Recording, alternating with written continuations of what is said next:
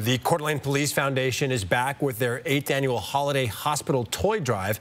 In past years, over $20,000 worth of toys, clothes, and gift cards have been distributed to local kids. The next day you can donate is this Saturday the Hayden Walmart from 9 a.m. to 3 p.m. Just a small effort can make a huge impact for hospitalized kids. From our locations where you can drop off new toys at any time, visit this story on KXLY.com.